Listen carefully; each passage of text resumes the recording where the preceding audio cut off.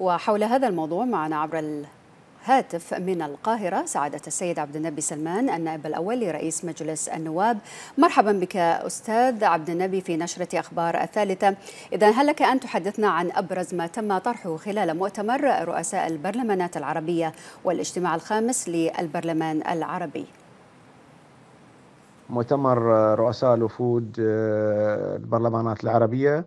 هو المؤتمر الخامس. تم مناقشة العديد من القضايا المتعلقة بالتعاون والتكامل العربي على مستوى البرلماني.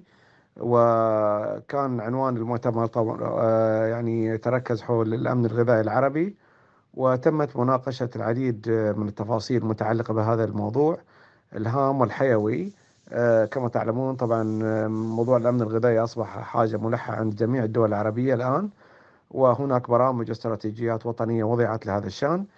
طبعا المؤتمر اليوم صادق على وثيقة أعدها البرلمان العربي وهذه الوثيقة تتعلق بال الأمن الغذائي العربي وكيفية التكامل والأدوار والمطلوب من جميع الدول العربية خلال الفترة القادمة في ظل التحديات العالمية والإقليمية المتعلقة بقضايا الأمن خاصة بعد الحرب الروسية الأوكرانية وما يعني ترتب عليها من انعكاسات تتعلق بالأوضاع الاقتصادية والمعيشية وقضايا الأمن والتغذية.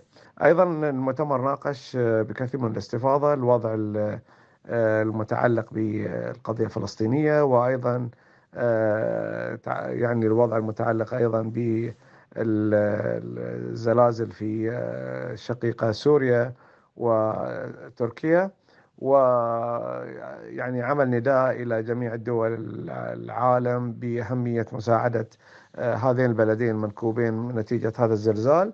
وأعتقد أن المؤتمر طلع بحصيلة جيدة من الأفكار والتي طرحت على يعني بساط النقاش.